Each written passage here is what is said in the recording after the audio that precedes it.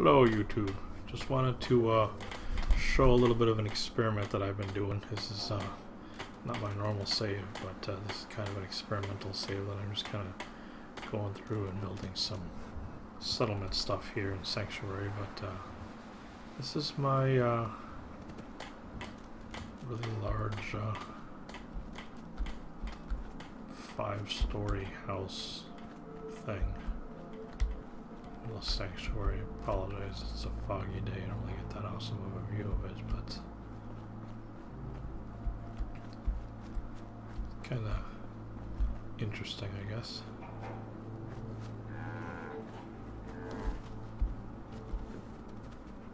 I mean, it's pretty darn big. Compared all these other houses here.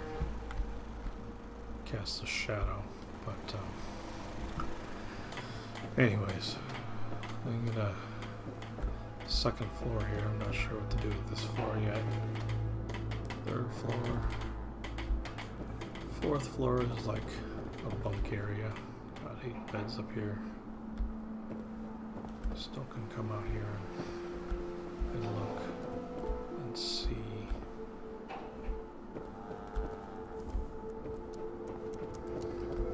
Fifth floor, I think I'm gonna make like a vendor slash rec area. Got windows all around. So you can see all the way around.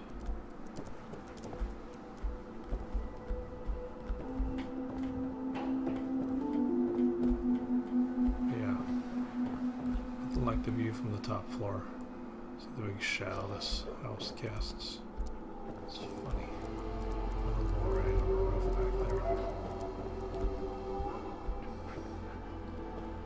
So, anyways, just wanted to do a quick little recording of this. Not really sure what to do with these other floors yet. What kind of walls I'm going to put up and figure out why there's a gap here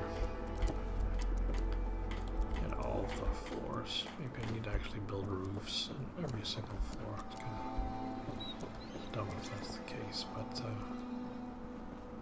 anyways. That's it right there, my large structure. Uh, maybe I'll put some defense turrets on the second or third floor, we'll see. So anyways, hopefully this was a little bit entertaining. It's my little experiment. I'll see you in the next one. Bye.